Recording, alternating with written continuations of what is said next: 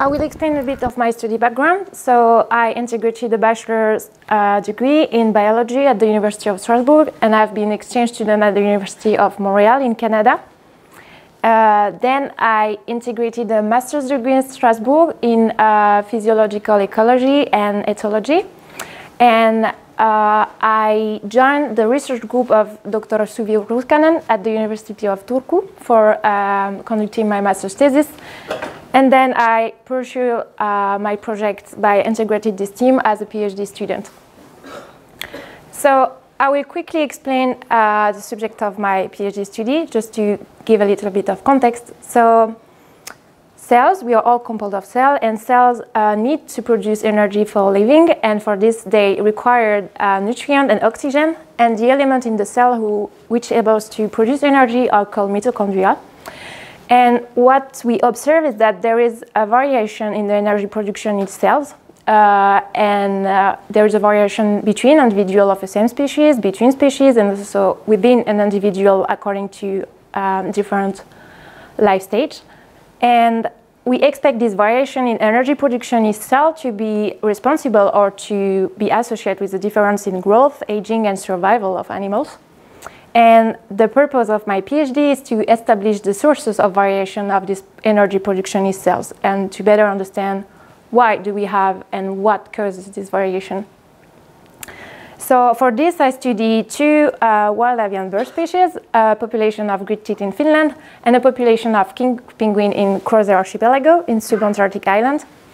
And those two species are really different, but uh, they have different life histories and ecological um, context, environment, different environments. So I can benefit from this difference uh, between species to answer different research questions. So, for instance, we conducted a fieldwork season in Ruissalo, close to Turku area, uh, and we monitored the great tit breeding season thanks nest box installed in the forest. There were several hundred of nest box. And um, the great tits have a really short breeding season if we take into account the nest building and the hay laying, egg incubation, and chick hatching, then it takes about one and a half months. They have several chicks within the brood and a short lifespan. So, for instance, we can answer uh, or study the impact of the number of nesting and the competition for food in cell energetics. And then the king penguin is really different. It, ha it has a really long breeding season. It takes about 40 months for a chick to be fully independent. There is only one chick bird breeding season and they have a really long lifespan. We recorded uh, king penguin in wild that were more than 25 years. Uh, so then, thanks to this species, uh, I can answer or study different research questions, but I will go back on this later during the presentation. So where do we find king penguins? Uh, they live in subantarctic island, and we are super lucky because some of the subantarctic islands are under the French uh, southern territories. So quick introduction, there is different points. There is the Île Éparses, close to Madagascar and uh, La Réunion, uh, on the left, close to Africa. Then there is the Île Austral, so subantarctic island, and it includes Crozet Archipelago, Kerguelen Archipelago, which is a bit more famous, and Amsterdam and Saint-Paul Island. And then there is a piece of uh, land in Antarctica continent, uh, which is called Terre Adélie. So Crozet Archipelago is composed of five volcanic islands. Uh, on this picture, you can see l'Île de l'Est, uh, but we are only allowed to go on the Possession Island for conducting research. Um, the full archipelago is about 340 kilometers. The highest point is a bit more than 1,000 meters. And then when we say subantarctic island, we often think that uh, it's super snowy there, but not in Crozet Archipelago. The climate is super windy and rainy, and it's quite warm. The mean air temperature is about 5 degrees, and the mean sea temperature is about 4 degrees. So I will just shortly speak about history. Uh, Crozet Archipelago has been uh, discovered by uh, an under a French expedition led by Marc-Joseph Marion Dufresne. And Julien Crozet claimed the French sovereignty of this uh, archipelago on um, 1772. Uh, Crozet Archipelago um, was included in the French Southern and Antarctic lands when it has been created in 1955. And the first mission uh, on Possession Island was in 1961. And as you can see on the picture on the left, the first main station was um, in the middle of the king penguin colony, which is not the case anymore. Uh, after the first uh, mission, then they construct the base Alfred Faure, which is now the current station. And the archipelago joined the nature reserve in 2006 when it has been created. This is a picture of uh, the current station. So how do we reach, reach Crozet Archipelago? Um, it's possible to reach it thanks to the French Polar Institute. And the French Polar Institute used the Marion Dufresne boat for going there. So there is different rotation uh, among the year. And usually the travel uh, is like this. So the boat goes from La Réunion, then it reaches Crozet Archipelago, then Kerguelen Archipelago, Amsterdam and Saint-Paul, and it goes back to La Réunion. A full rotation is about one month. So it means that for going to Crozet, because there is about 2,800 kilometers, it's represent approximately five or six days of sailing. And then for coming back, it means that you need approximately three weeks. So you need to take this into account if you like sailing or not. Uh, last year we had the COVID special edition, of course. Uh, so because we will gather in the boat for several weeks and we all came from all over the world, even if it's mostly French people, uh, for instance me, I came from Finland.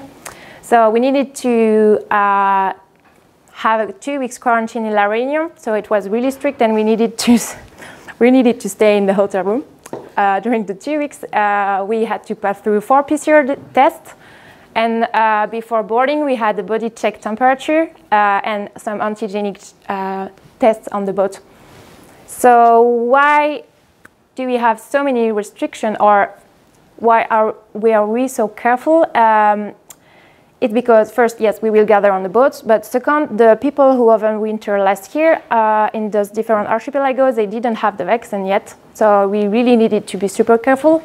And even if there is medical equipment on the island, uh, of course, it's less well equipped than uh, in another place in the world. So we really need to be careful about this. So there is four rotation under the French Polar Institute over a year and one specific rotation thanks uh, with the Marion Dufresne, but it's not the French Polar Institute.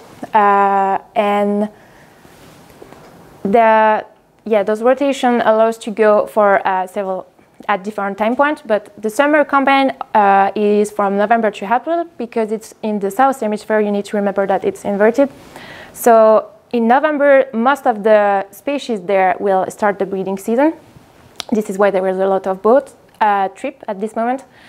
And um, yeah, the Marion Dufresne does not, do, yeah, does not allow to make people traveling, but it also brings the food there and scientific equipment and building equipment. So it's really important. Uh, usually for summer campaign, um, people who go there are either a field assistant because we, we need a lot of people. It's like the period where we need to work uh, a lot. It's usually the project, scientific project leader, collaborators, or PhD student uh, like me. And then we have the people who overwinter. So they will spend at least 30 months on the island. They, it, they are usually people who have an experience in fieldwork and uh, they will conduct the whole scientific campaign and this is because of them that the campaign is successful. So we are super thankful for these people who stay there. And um, so yes, they start in November usually, and then during November and December, they will stay for one month handover and train the new overwintering person. So now I will present you quickly the island, so you can follow the red uh, dot on the map, and it will show you where I'm talking. Uh, so the red part here is the main station, the base Alfred Faure. And then there is different shelter around the island, and those shelter allows to conduct uh, scientific research outside of the main station. And for instance, it allows to reach species that are not so present close to the main station. So this is the Baie Américaine. It's really close to king penguin, but there is not really a colony established there. We have also Pointe Basse, and Pointe Basse is really far away. Um, you need to think that for going there, there is no car. You need to walk, and it's between five or seven hours walking. And no matter if it's raining or if it's storm, if you go are there, you are there. So yes, it takes some time to reach that point. But um, for instance, close to this shelter, you have the field of albatross. It's called like this, and it's a place where there is many albatross breeding. So for instance, people who conduct research uh, on albatross often go there. And there is another shelter uh, at this point called La Pérouse. It's super small. I've never been there, but it's super small. Um, this is the king penguin colony close to the main station. Uh, as you can see, there was a lot of penguin. Each dot, black and white here, is a penguin. And uh, yeah, there is a bit more than 20,000 breeders on that colony. So the main station is on the top of the hill. There is a road, no car, but there is a road. The car is for emergency.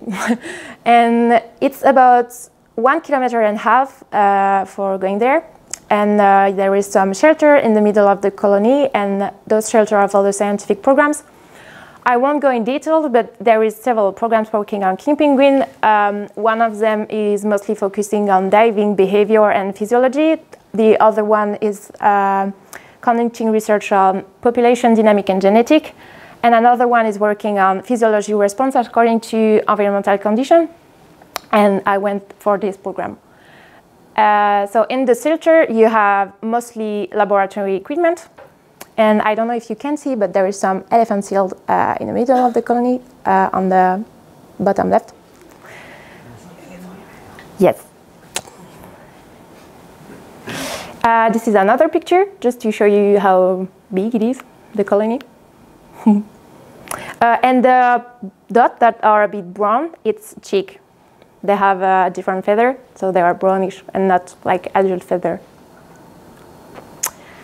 So now if we talk about the king penguin breeding cycle, when we arrive in November, the penguin uh, come on the, in the colony. They will try to find a partner. So for this, they will parade, they will sing because singing is really important for them.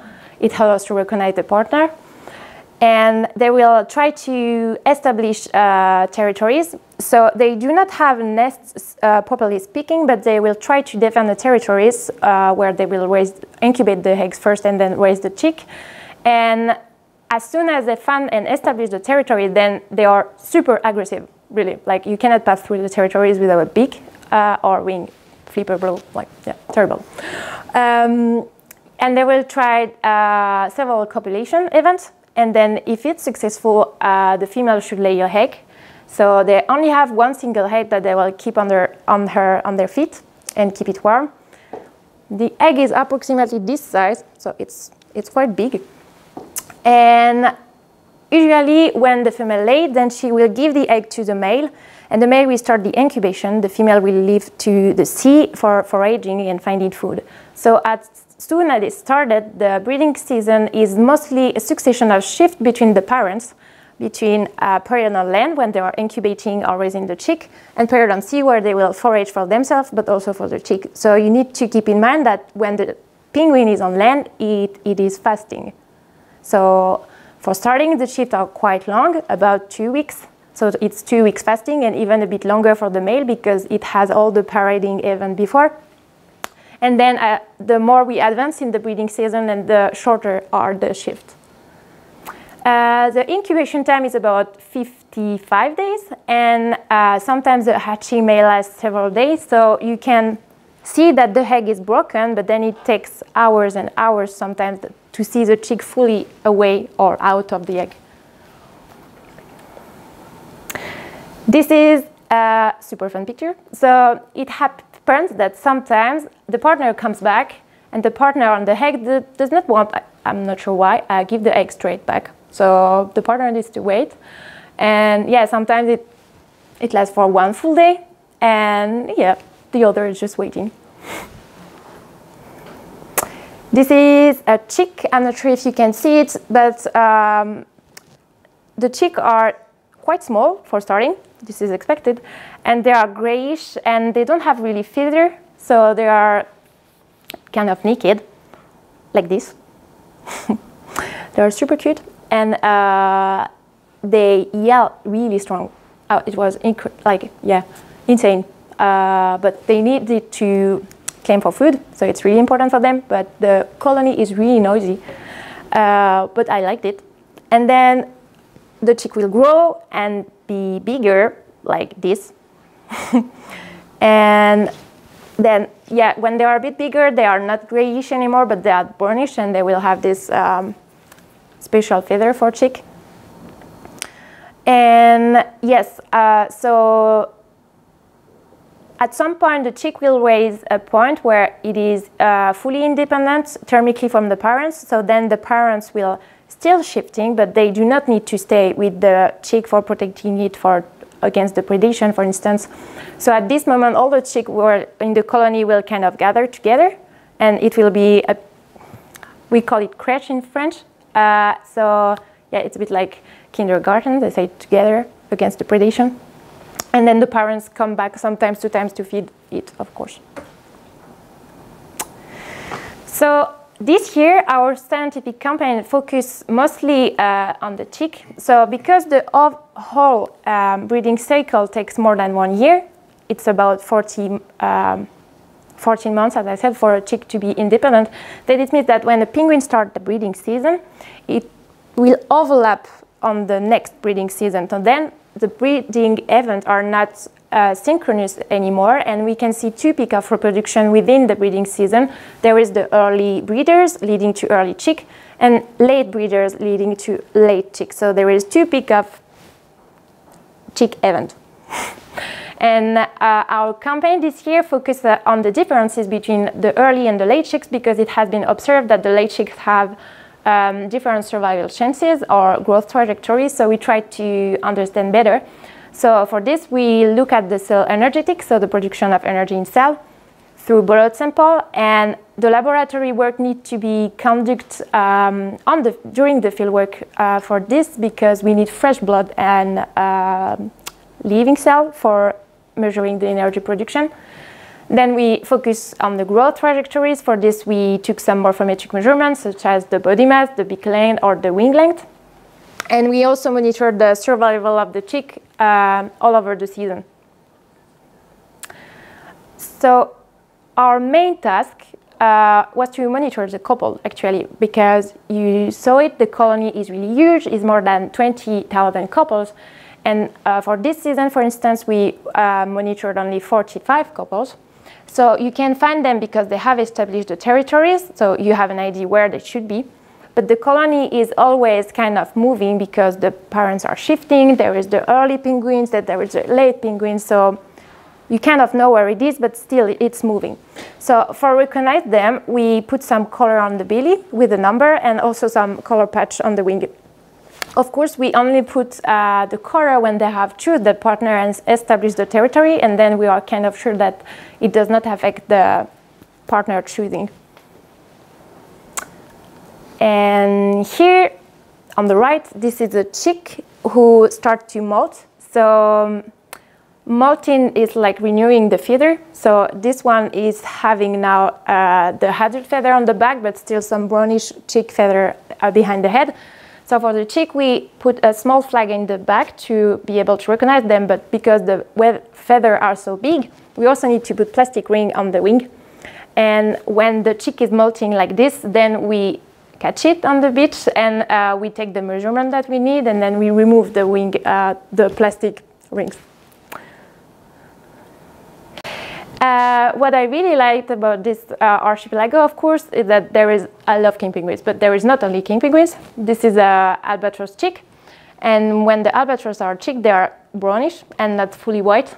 And actually they are whiter when they get older. There is also sea elephants. Those are pups. They are super cute. And um, yes, because the sea elephants are also in the colony, you need to deal with them. So the pups are super cute, but uh, the male are a bit scary, to be honest. And uh, you really need to be careful when you walk through the colony to not disturb sea elephant seal because it's much bigger than you. So you may get into trouble. Uh, so yeah, it's one funny thing dealing with elephant seals. Uh, we were super lucky and we saw killer whales several times. So they come close to the beach. Sometimes they take penguins or elephant seal, but uh, it's light and they are really nice. Uh, so we mostly saw two groups and one group was uh, composed of a big male and uh, several killer whale calves. Uh, and we maybe thought that the male was teaching the smallest one to hunt. So, so far I mostly talk about the professional experience, which was great, but also uh, living there for a few months was a huge human experiences. So what you need to know is that there is not only scientific people on the on the main station, but uh, the station is also composed of military people who will make the station uh, function. For instance, uh, the doctor has a military status, the postman as well. And there is also people here uh, coming for the building renovation uh, because it's super windy and rainy all the time. It, needs, it needs always re renovation. So it means that we have many people on the same station with a different background, and you need to learn how to live together. And because we don't have uh, fully access to internet or outside world, uh, of course the relationship you create on the station are stronger and a bit more intense. So those are all the people who were there between November and December through rotation of the boat. And actually we were a lot of people at, at, this, at this time. So we had many social activities and uh, we always take our meals all together. It's a moment where we gather all together when we can share the day and speak about everything. Uh, we celebrated Christmas, New Year's Eve, of course, but also the birthday, and there was some tradition on the island always to gather people. Uh, we can watch movies, series, uh, there is a pool game, table football game. Uh, there is, sometimes you can participate to the kitchen activities, and on the bottom left, it's the picture uh, in the hospital. So because there is only one doctor in Crozet, and it's, uh, it's the same for the other island, even if there are several, uh, the doctor always need to train the people on the station uh, in case there is an emergency. So there is some courses about anesthesia or surgery, and it makes you remember that uh, if there is an issue, you need to be all together and be there for everyone. And uh, yeah, when we arrived in November, the district chief um, told us that Crozet was like a big family. And even if you don't choose your family, you need to stick together and be together. And I really like this community mindset.